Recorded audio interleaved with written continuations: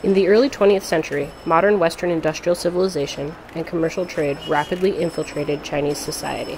People were studying Western technology, political institutions, and ideology and culture, which triggered comprehensive changes in Chinese economy, politics, lifestyle, and modes of thinking.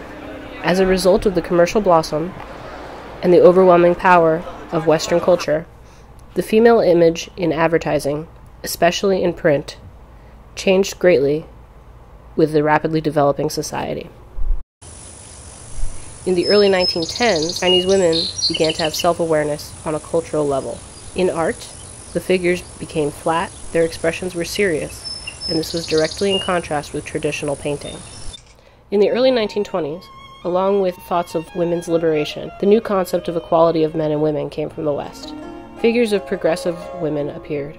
Umbrellas, books, and watches were decorations. Oval face, fair skin, curved eyebrows, single fold eyelids, flat chests. Then, the gorgeous modern new women with silk stockings, philibeg, vermilion borders, and perms began to appear. The bodies of women gradually became a way of expressing property and value of products. The meaning of sex of women disappeared gradually and was replaced by value in a commercial society. Following this, the awareness of sport and fitness began to appear.